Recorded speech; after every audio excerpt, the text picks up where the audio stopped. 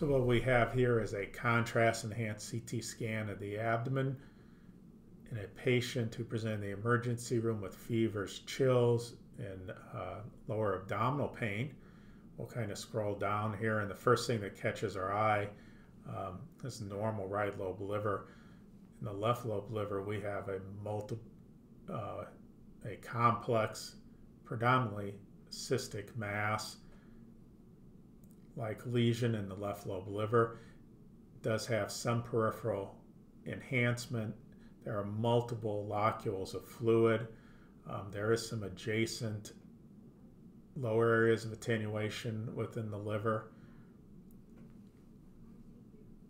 Now, the differential considerations in this would be abscess or tumor. Do not see a lot of it solid enhancing tissue. There are some septations and complexity.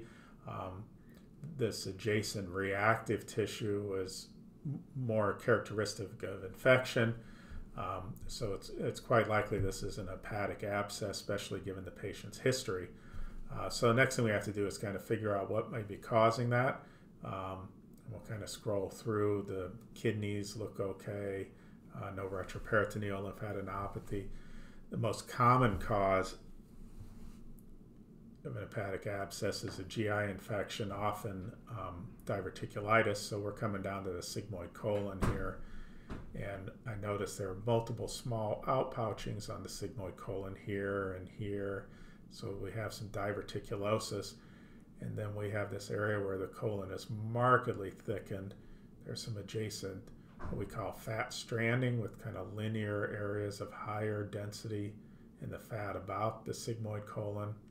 There's also this irregular collection of gas and fluid outside the colon compatible with a diverticular abscess.